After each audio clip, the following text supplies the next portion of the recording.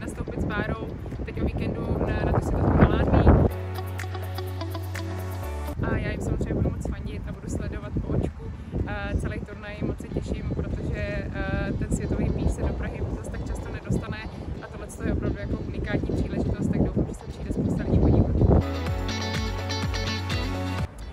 Tak já jsem momentálně ve fázi eh, rekonvalescence a různého testování.